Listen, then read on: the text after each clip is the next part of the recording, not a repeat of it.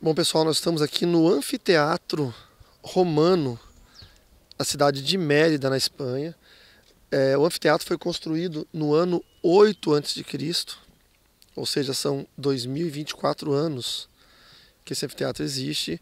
Ele foi usado para guerras de gladiadores. Tem aqui até uma, um painel demonstrando isso, dos combates, né? Os combates de gladiadores tem aqui em inglês, espanhol e tem em português que a gente pode ler aqui.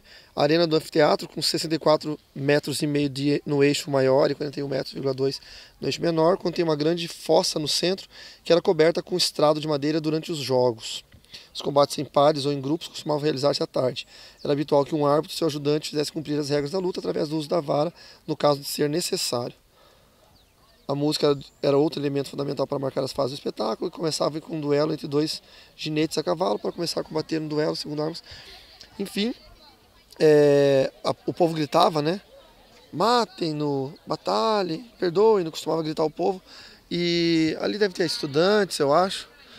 É, e eu, eu perguntei para uma senhora que trabalha aqui, que é uma senhora que está bem lá, muito simpática por sinal, e ela nos informou que houveram aqui sim alguns, alguma, alguns combates onde os cristãos eram mortos. Não era muito comum aqui, mas houve sim algum combate aqui da, de cristãos que foram mortos.